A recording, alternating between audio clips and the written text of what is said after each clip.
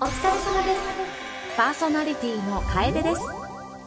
今回は日本のテレビ番組で子供が取った行動が海外で話題に。海外メディアも絶賛する日本のお使い文化とはをお送りします。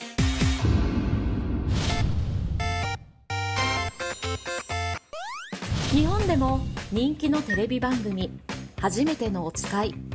小さな子供が一生懸命頑張る姿は私たちに笑顔と感動の涙を与えてくれます。この番組は海外でもたびたび紹介されておりその度にインターネット上では大きな話題になっています。しかしその理由は単に頑張る子供たちが微笑ましいというだけではないようです。今回は初めてのお使いを取り上げる海外メディアの記事と番組に対する海外の人たちのコメントをご紹介します。1お使いは日本独自の文化。アメリカのメディアシティラブはお使いという日本独自の文化が生まれた背景を探るため電車通学を行う小学生本人やその両親などに対して取材を行いました。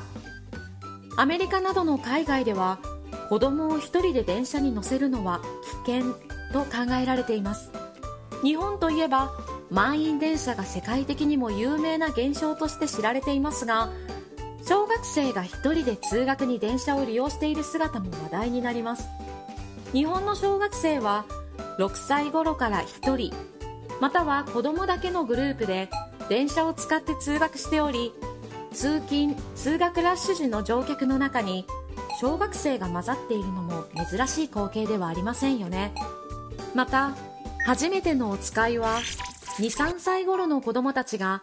人生初のお使いに出る様子を収めた番組ですがどちらも海外の多くの国では見られない光景と言えます。シティラブは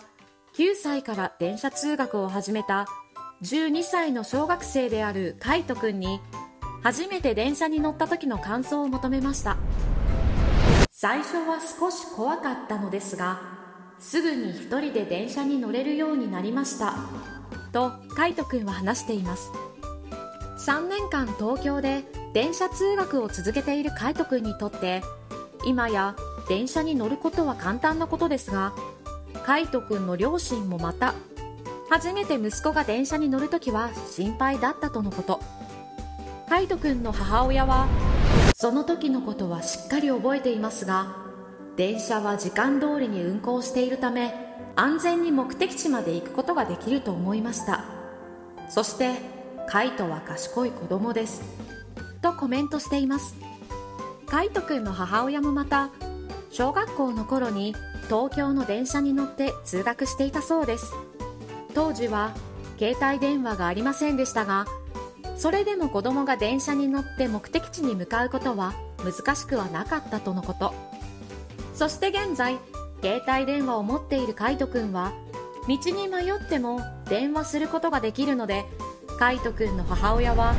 当時よりも安全に電車通学できるようになったと感じているそうです。このような得意な日本の文化について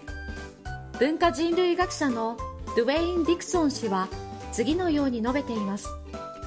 日本の子供が自信過剰なわけではなく日本には集団の信頼があるためこのような文化が成立するのです。これは一体どういうことでしょうか？ディクソン氏曰く日本のコミュニティでは子供が周囲に助けを求めても大丈夫。ということを早い段階で学習しているとのこと。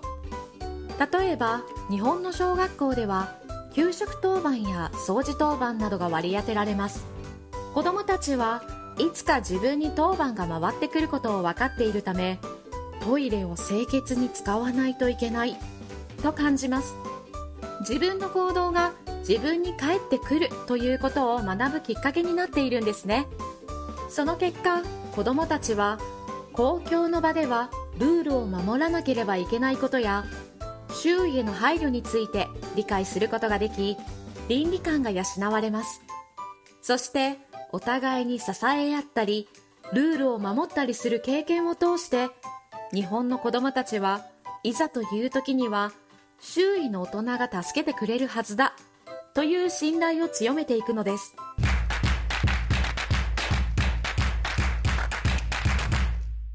2お使いができる背景。さてこのように日本の子供の独立性やお使い文化に注目しているのはアメリカだけではありません。中東化に進む9から10歳頃から子供たちが電車通学を始めるドイツでさえ大手新聞紙 D サイト紙がなぜ日本の子供たちはより独立しているのか。というタイトルの記事を掲載しています。イギリスやアイルランドでは日本人とアメリカ人夫婦のナオミ・森山氏とウィリアム・ドイル氏共著の「世界で一番健康な子供たちの秘密」という本が発売されたことをきっかけに日本式育児に関する特集が組まれています。2015年には世界で最も有名なニュース雑誌ともいえる「タイムにマリアン・マレー・ブキャナー氏が日本で迷子になった6歳の息子がすぐ無事に見つかった経験をもとに日本人のように育児する方法との記事を書きました。どうやら日本式育児に対する注目は年々高まっているようです。例えば皆さんはヘリコプターペアレント。という単語をご存知ですか？ヘリコプターのように頭上を旋回して子供を監視し何か問題が起こればいちいち口出して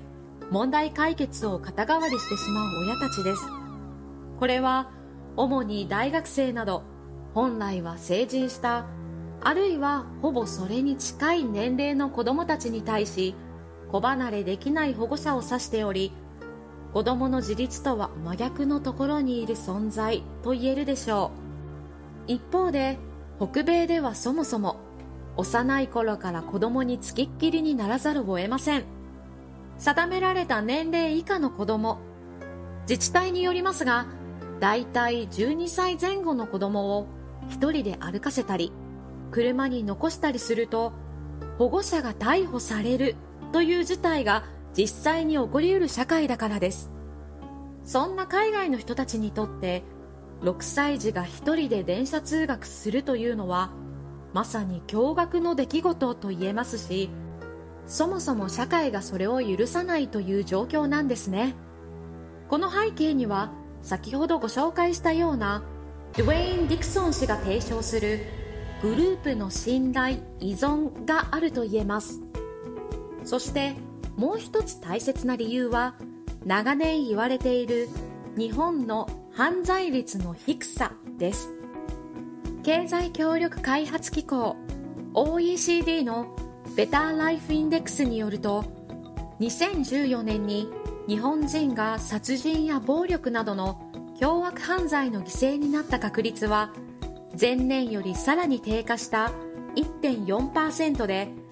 OECD 平均の4%を大幅に下回っています。これにより日本はアイスランドやカナダと並ぶ世界で最も安全な国とされています。もちろんこの数字を過信しすぎるのも危険です。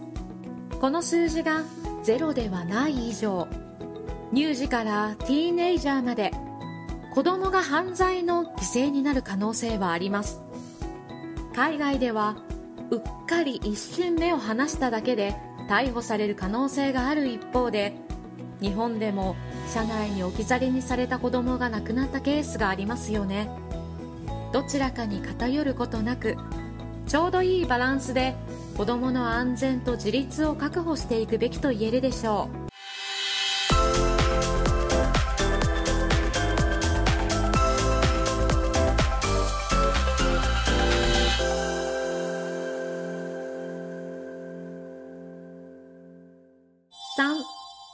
海外の反応。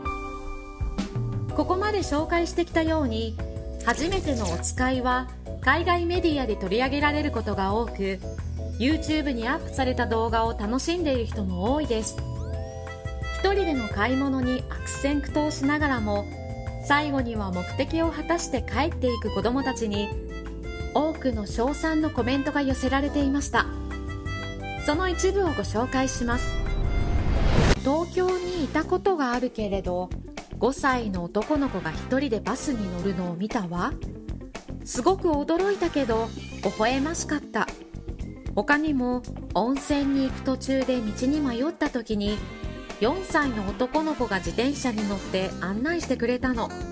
日本はとても安全な国だから子供たちが一人でうろうろできるのよ。私は14歳だけど今もママと一緒に買い物に行くわ。